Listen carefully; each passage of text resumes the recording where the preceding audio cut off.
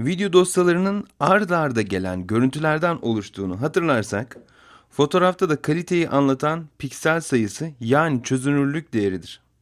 Video dosyalarında da bu piksel yapısı kullanıldığı için içerdiği piksel sayısına kare büyüklüğü veya frame size olarak adlandırıyoruz. Televizyonlar için analog yayınlarda kullanılan görüntü boyutu 720'ye 576 pikseldir.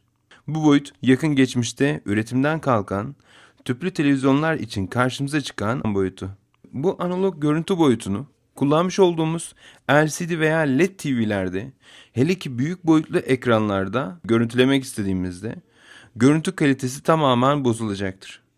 Büyük ekran TV'lerde bu analog boyut yerine HD olarak kısalttığımız High Definition yani yüksek çözünürlüklü görüntü kalitesi daha uygundur. HD kalitesi de kendi içinde görüntü boyutlarına sahiptir.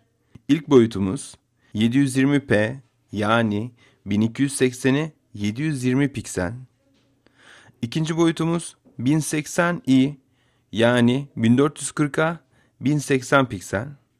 Son boyutumuz ise 1080p.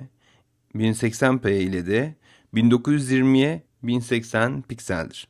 Boyutlardan da görebildiğimiz gibi HD kalitesinin en temel boyutu bile analog yayının iki katıdır.